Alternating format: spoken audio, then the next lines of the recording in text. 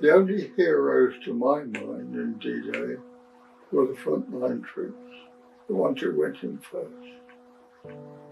That's where all the casualties, of course. We heard about D-Day on the radio at nine o'clock on the 6th of June, and we expected to move more or less quite quickly. But we didn't move, in fact, until the 8th of June. Shelled every night. We had planes going over every night dropping bombs. We were in tents, so I can remember we were eight in a tent, and it was my suggestion that we just lay there with our tin hats over our faces. And that's what we did. It was very exciting.